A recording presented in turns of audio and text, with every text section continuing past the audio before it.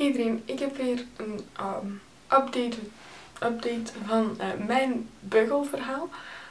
Het is namelijk, het is wel heel snel, maar het is namelijk toch wel heel speciaal.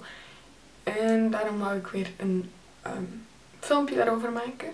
Heb je mijn eerste deel nog niet gezien? Klik dan nu even op mijn gezicht. Hier vertel ik uh, over het is om mijn bovenste blokjes te krijgen. En vertel ik ook wat meer over mijn buitenbeugel.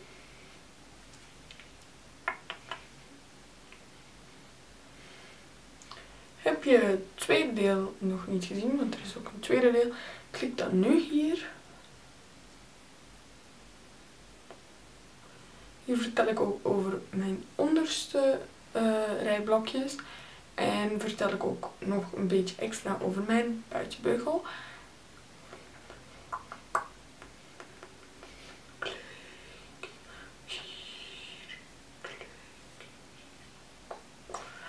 Um, en nu begin ik dan met het derde deel. Deel. Um, het is namelijk toch wel vrij speciaal. Um, ik ben namelijk vorig jaar in januari begonnen met mijn, ja, ben ik maar voor het eerst naar de orthodont geweest om te kijken wat ik precies moest van, ja, blokjes, beugel. Um, ik had daarvoor ook altijd het um, bericht gekregen dat ik nooit blokjes moest, alleen als ik het wou. En bleek toch dat ik, ja, blokjes moest. Dat was uh, wel een hele klap, maar ja, ik ben nu net ik ben, nu een jaar later. En um, ik heb mijn blokjes zelf nog maar zes maanden, denk ik. Juli, ja in juli heb ik ze zeg maar gekregen. Um, het belangrijke en leuke nieuws voor mij ook is dat ik geen buitenbeugel meer moet.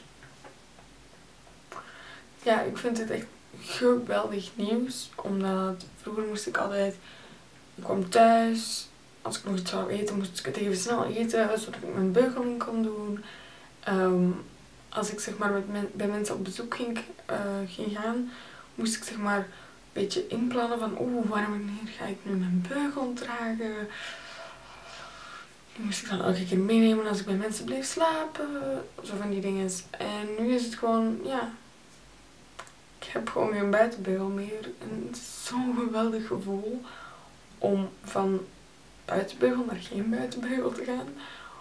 Omdat, ja, ik kan opeens gewoon tijdens het studeren, ik kan rustig wat eten. Ik moet niet mij haasten.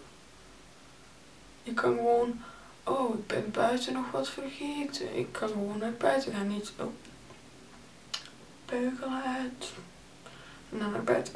Dus ja, ik kan ook niet meer mijn beugel vergeten. Want het gebeurt ook af en toe. En dan is dat niet zo'n ramp. Um, wat nu wel anders is, is uh, bij mijn voorste tanden heb ik een achtje zeg maar, rond mijn tanden zitten. Ik denk dat dat is omdat die twee tanden al ongeveer goed staan en zodat ze zeker niet uit elkaar zouden. Of, of denk uit elkaar dat ze niet zeg maar, een spleet zouden vormen. Uh, en dat ze daarom even zijn samengebonden. En aan deze kant heb ik wat speciale rekkertjes. Die hebben zeg maar, twee blokjes met elkaar verbonden. Omdat um, zeg maar, die kant van onder moet nog het meest verschuiven. En daar zijn die rekkertjes dan goed voor. Dus ik zal even een close-up laten zien van mijn maand.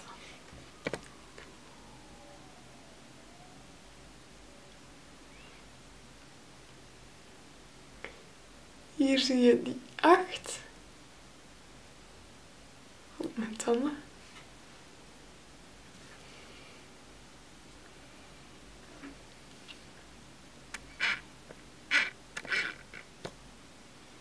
En dat zijn die speciale rekkertjes.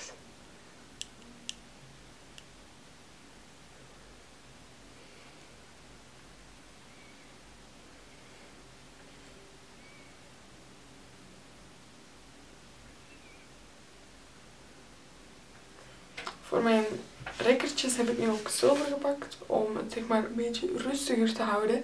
En ik denk dat dat toch wel goed werkt, omdat je eigenlijk de rekkertjes zelf zie bijna niet. Ehm, het is veel onopvallender. Als ik vanaf een afstandje dan zie je wel iets, maar je ziet niet meteen bam groen, bam rood, bam kleur. Je ziet gewoon zilver en is zeg maar al de kleur van de blokjes. Dus ik vind het nog wel mooi. Het staat gewoon ook beter bij wat dat je dan ook draagt. It's important. It's an accessory. Nee hoor. Um, maar dus ja, ik ben heel blij dat ik geen buitenbeugel meer moet. Um, ik hoop ook dat ik dan mijn blokjes niet meer te lang hoef. Um, omdat ik zeg maar vrij laat mijn blokjes heb gekregen. En ja, nu is het toch ook zo snel mogelijk af. Ik denk dat je sowieso je blokjes wel zo snel mogelijk afvult. Maar ja, ik wil ze gewoon zo snel, dat mijn tanden zo snel mogelijk mooi recht staan. En dan hopelijk ook zo blijven staan. Ook een voordeel is bijvoorbeeld als ik nu uh, lippenbalsem wil opdoen. Vroeger uh, kon ik lippenbalsem opdoen, maar als ik dan mijn beugel omdeed, ja, werd mijn beugel zelf heel vettig. Dus dat deed ik dan niet zo vaak. Maar ja, nu heb ik mijn buitenbeugel helemaal niet zoveel om, op, op, om, in, in. Dus nu kan ik gewoon weer veel meer mij aanpassen aan geen buitenbeugel. Ik zeg je, het is moeilijk. Het is echt moeilijk. Maar het lukt wel en het is ook gewoon leuk. Dus ja, why not? Um, ja, dat was dan alles wat ik jullie wou vertellen. Ik hoop dat jullie het leuk vonden. Um, en ik zie jullie snel weer voor. En ik hoop dat ik ook weer snel een update kan geven over mijn beugelverhaal. Kijk zeker even, abonneer zeker even, dat je zeker mijn volgende video's niet mist. En dan zie ik jullie snel weer. Doei!